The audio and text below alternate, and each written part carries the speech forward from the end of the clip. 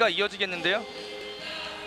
자, 양팀 라인업 짚어드리겠습니다. 고양 오리온스, 김경수, 김준, 변지현, 김민겸, 문주환, 김 고양 오리온스는 어, 압도적인 LG 차이로 네, LG에게 또 졌었죠. 네, 31대 4로 패했는데요. 자 이번 경기력은 좀 어떨까 한번 지켜보도록 하겠습니다. 자 안쪽으로 넣어줬고요. 유태민. 자 이번 경기력은 좀 어떨까 한번 지켜보도록 하겠습니다.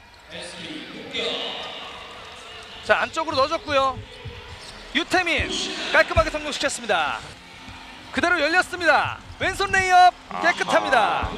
자 기술이 네. 정말 그리고 또 어, 삼성과의 경기에서는 점퍼가 조금 안 들어가는 편이었는데 지금 또 점퍼까지 성공했습니다. 자 이번에 내줬고요 유태민 골 밑에서 다시 한번 득점 성공 박태섭 선수도 그렇고 김정훈 선수도 그렇고 지금 현재 나와 있는 고양 뭐 시작하는 시점이 보통 보면 초등학교 3학년, 4학년이거든요. 네네 그때 시작하는 경우가 좀 그때도 빨리 시작한 편이다. 네. 아이들이 선수들이 어린 선수들이 좋아하고 이렇게 즐기는 모습을 보니까 좀 아무래도 학원 스포츠는 좀 강압적인 뺏겼습니다 여정엽 레이업 성공합니다 자 멋진 수비에 이은 득점 스코어는 20대 8이고요 그렇죠. 레이업 다시 한번 성공했습니다. 여정엽 손에서 공격 시작하는데요. 크로스오버 어렵게 tough shot 올려놓습니다. 자 이렇게 여... 자 여정엽이죠. 다시 한번 돌면서 성공시킵니다. 연속 득점합니다.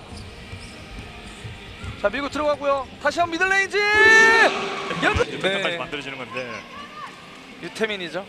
전반 초반에 저 위치에서 저뿐일까요? 자 그렇죠. 여기서 슈, fake 이후에 슈팅 올라갔고요.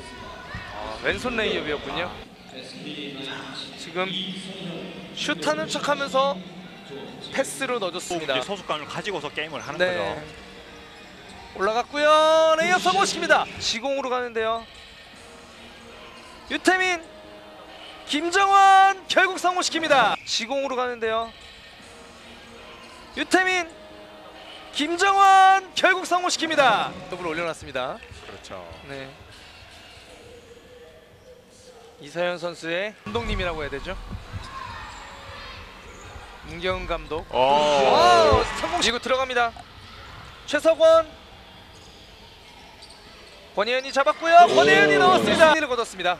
뭐 SK 같은 경우에는 이제 삼성에게 졌지만 오늘 네. 뭐 승리를 거두면서 결선 토너먼트